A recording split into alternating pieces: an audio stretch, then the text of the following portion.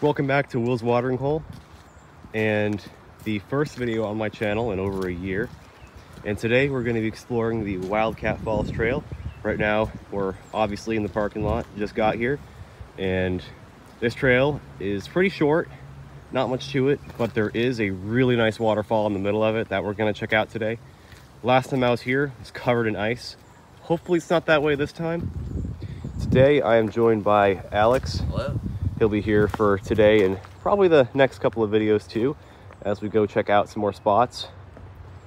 So let's get to it. So this is the front of the trail. They got a ton of stuff over here, including some maps. So let's grab one of those. I don't think we'll need it, but it's good to have anyway. So this is the map of the trail and we are starting out right over here. This is our start point. We just got off of those roads over there. So what we're going to be doing is probably following the Falls Loop Trail. Uh, this I couldn't access last time. I don't know if we can go to that, but it was pretty blocked off. So we'll go over here, go past like a little pond area, continue down this way. We're going to go through the power line, so we're going to get a good view there. It follows the Souhegan River, and then we're going to go over here, and there's the waterfall. It's a beautiful area. It shouldn't take us too long to get there and then we're going to follow this area. It's kind of like foresty and hilly and then we'll cross the power lines again get right next to the highway and work our way back. We just got onto the trail and already here is the first kind of pond area. A few months ago when i was first exploring this i used to see people basically like playing hockey over here. Can't do that anymore because it's pretty wet and gross but i don't know. Could be a fishing spot for the future. Looks pretty shallow maybe over there we can get some good coverage. Because it's a little bit too cold to go fishing right now, like the water's barely thawing out. Some of the spots I go fishing at a lot are still covered in ice. So as soon as those thaw out, I can do some fishing videos. But until then, just want to gear things up, get back into YouTube with some exploration videos, check out a bunch of new places. I got a ton of new spots I checked out a few months ago that I want to share to this channel. And here we're coming up on our first fork. Oh, it is getting icy. Last time I was here, this whole thing was just glazed. I actually have a video. Yo, this whole trail is just ice. The whole thing. So both of these are the Falls Loop Trail, the one we're going for. We're starting off going that way and it is getting icy. Oh my God. We just had a snowstorm yesterday. Um, it was raining through a lot of it, so most of it froze up. And right here is the North Loop Trail, which is that little red area back there I wasn't able to explore before. So we're gonna go that way first. It's not maintained very well, but looks a little bit fun. Some slopes, especially fun on the ice.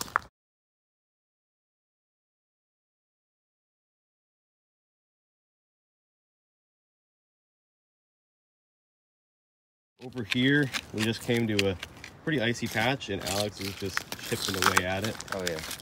With his walking stick.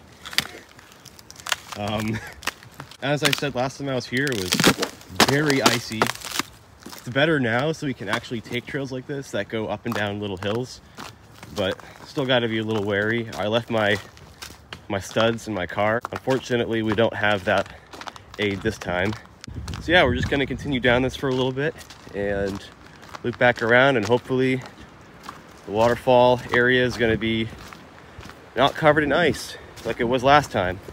Because last time I was there, there's a bunch of these like big boulders that we have to climb over to get to the like the good views and they were covered in ice. I was there with my friend back in uh, January and like he slid off of one of the hills, fell like like 30 feet down the hill and almost went into the water. It was treacherous. Saw another hiker there too, and he was saying, "You guys, you guys need studs in order to go here. Like it is dangerous." Unfortunately, he warned us too late. Didn't have anything, so we just had to like crawl across the uh, path the rest of the way because standing up was just pointless. There was nothing to grab onto. It was not fun. This is looking way better though. I can actually, you know, walk here. Wouldn't call it hiking, but we can walk here. This is Alex's new walking stick, upgraded a little bit. Did that just break? Oh no, it didn't. No, it didn't. It, it looks like it's pretty close to you. Look at that big crack in there. Mm. Look at that view back there. Looking pretty good. Nice morning hike. The people here too we've passed so far have been really nice. Other purpose of why I'm here and doing a lot of this exploration is to find future fishing spots.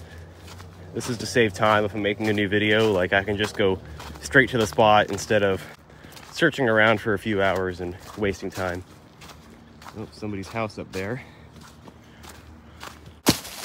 Man just upgraded his walking stick again. Picked up a fucking tree. Shit's not gonna break. All right, let's keep going. Oh, look at that gross river. I ain't gonna lie, this actually looks like a good place to swim. On second glance, this actually looks like a good place to swim, like Alex just said. Yeah, asshole. I ain't gonna lie, this kind of looks good. this is actually clear. Yeah. I was just seeing the dirt. Like I walked up and I was like, is this just solid, thick brown water? No, no, no. But no, not- this just looks this looks nice. like the current. Like honestly, this could be turned into like a lazy river on like a floaty. Might be a good like spring fishing spot.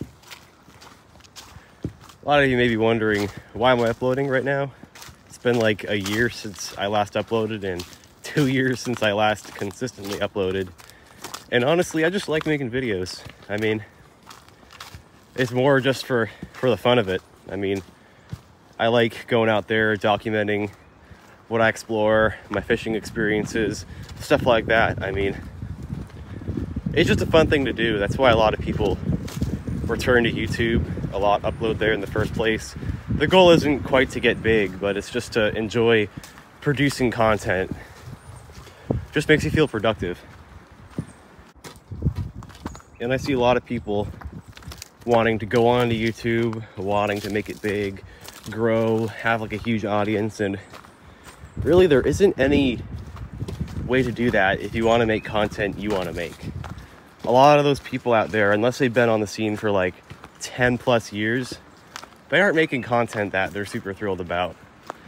Obviously, that's not the case for everybody, but like you see some of the videos that get crazy popular, they got clickbait thumbnails, and they're usually always about a topic that's trending, whether it be some sort of news event or just something that a lot of people have an interest in.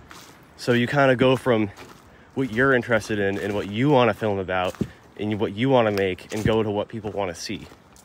And that's a big difference. Like hiking and fishing, there's a small audience for that. Like some of the biggest fishing YouTubers out there have like only a couple million subscribers and you see way bigger channels in the tens of millions, some even passing 100 million, like crazy stuff, but they make content that has a broader appeal and a lot of people who get big just stop wanting to make that because it's not what they want to do.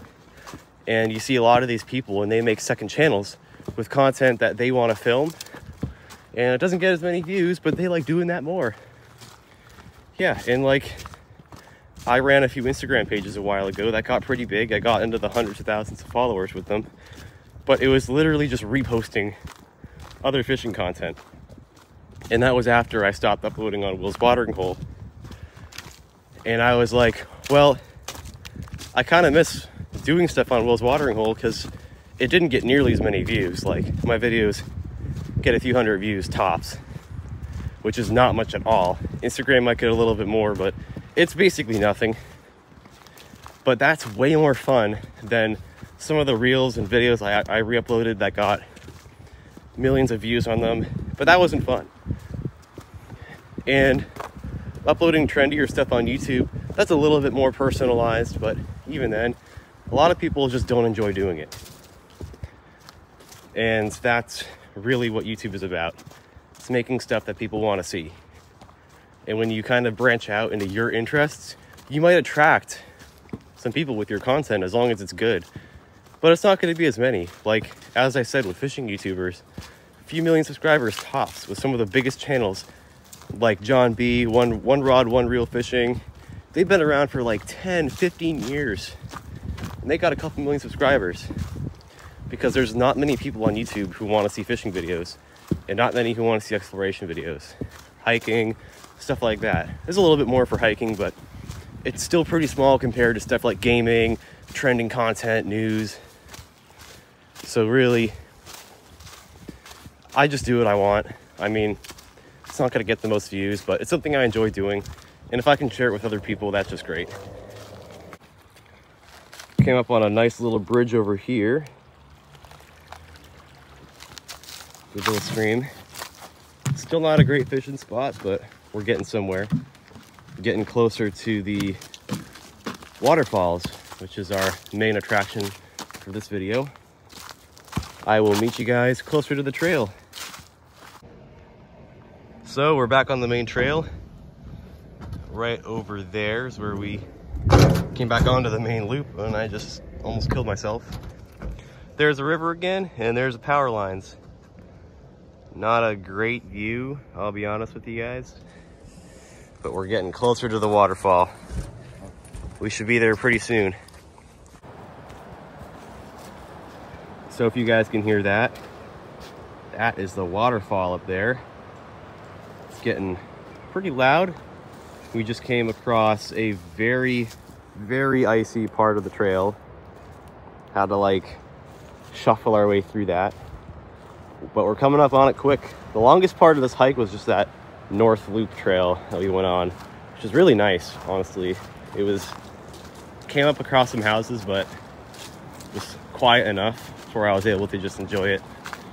And as you guys can see, we are now following a blue triangle instead of a red dot. So if we don't see those, we're lost. If you guys haven't already, if you enjoy the video, make sure to leave a like. And if you're new, subscribe for future videos trying to get this channel off the ground and every bit of support matters.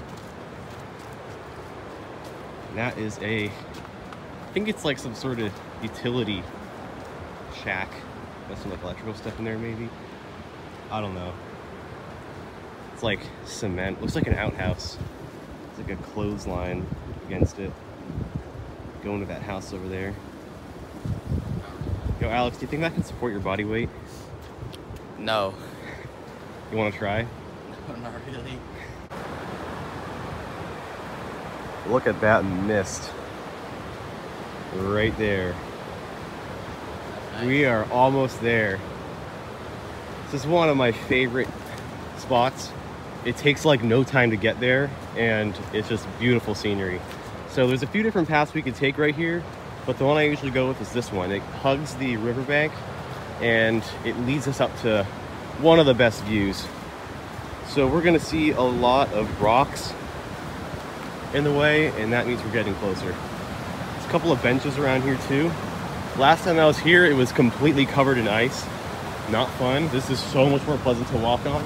As you can see, I don't have to like slide my way across it. There's people up there, so we are going to stop filming and I'll catch you at the top. So we're not quite at the top yet. I wish I had a microphone, but this will have to do for now. And look how beautiful this is. It takes, if you're hurrying and don't like explore anything, it takes like 15 minutes to get here. And we're not even at the best view yet. Oh, he's even taking some photos right now too. uh, we still got a little bit of the climb though. Just wanted to head here for a few minutes because there's like a family going by and here at Watering Hole we don't film that, so we're gonna hop across those rocks right there and get over to the top. All right, Alex, we're going. Oh, this is so much better without all the ice. Like, each of these was like covered in it.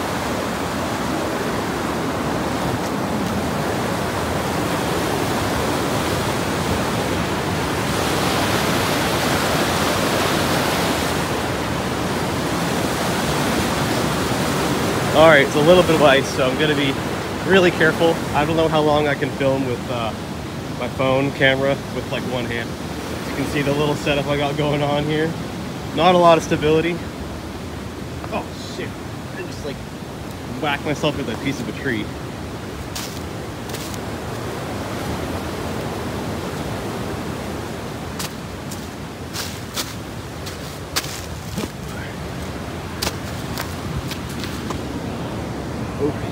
Yeah, a little icy. My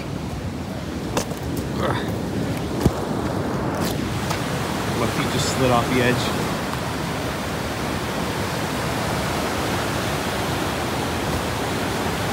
All right, we're coming up on those good views.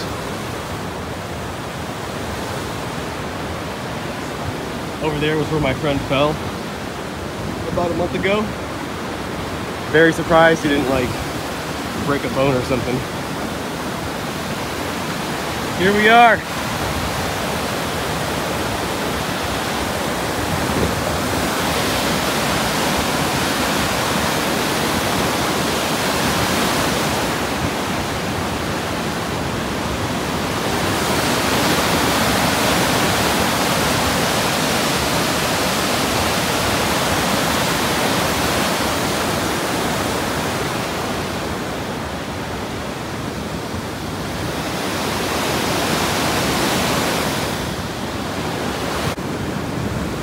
So right now we are right up against here. Little icon that says Wildcat Falls. We basically went up on this blue trail, all the way up here, down, and over to here. So our final route is gonna be going this way, back up the loop trail, go over here, and then end up back in the parking lot. And we're gonna get to our next site. But for now, let's just take in that awesome view. Keep the new iPhone 13, got that wide angle view. Again, one of my favorite trails around here. You want a quick, scenic morning walk, this is the place to go. Very little climbing, very little hassle or trouble. And I can't even imagine how beautiful it's gonna be in the summer or spring. I don't know. All right, look at this. Let's do this one-handed shit.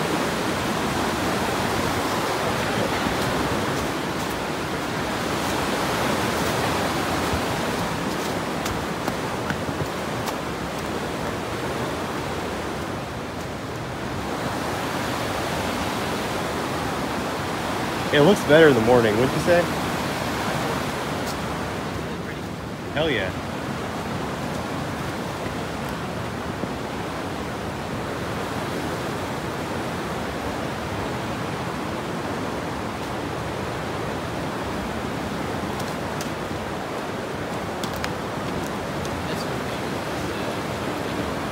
Yeah, I mean, I'm gonna guess it's pretty cold. Oh yeah.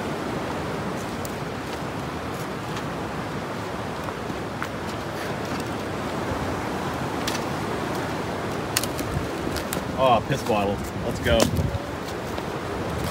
Nerf dart.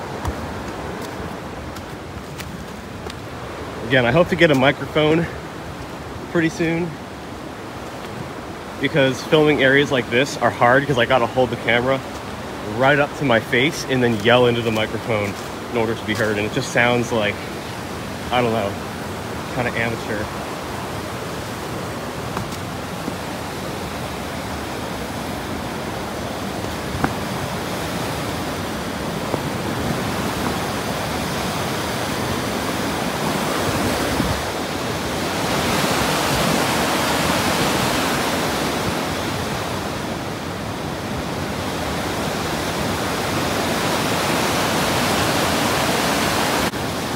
Do a pull up.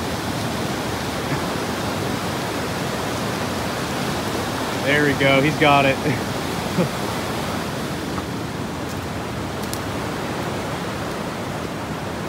All right.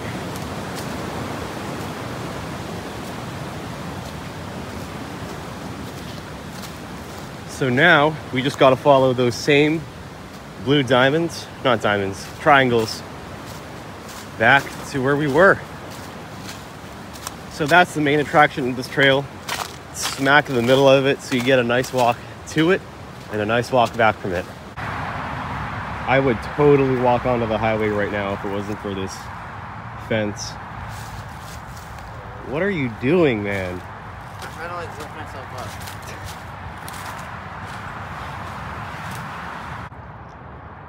Future fishing spot, maybe? Mm, It's a lot of overhanging weeds right there, but I don't know.